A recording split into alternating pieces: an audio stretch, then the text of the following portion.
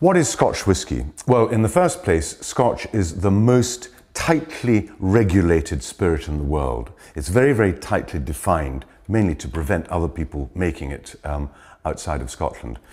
It has to be made in Scotland uh, from grains, not only malted barley, but other grains are allowable for making grain whisky.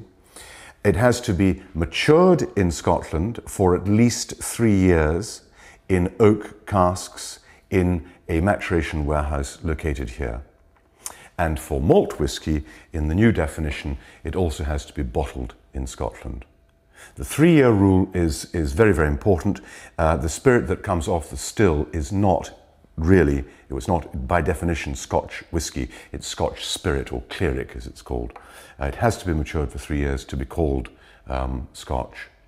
Um, where the whisky bears an age statement, such as this Bowmore, 18 years old, um, this Glen Garioch, 15 years old, that is the age of the, um, of the spirit, obviously 15 years, 18 years.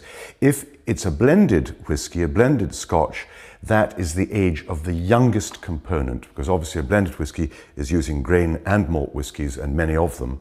That is the youngest component. So you could, if you, if like Johnnie Walker Black Label makes a 12-year-old age statement, that is the youngest component. There might be some 25-year-old whiskies in there, doesn't matter, but the youngest cannot be younger than 12 years.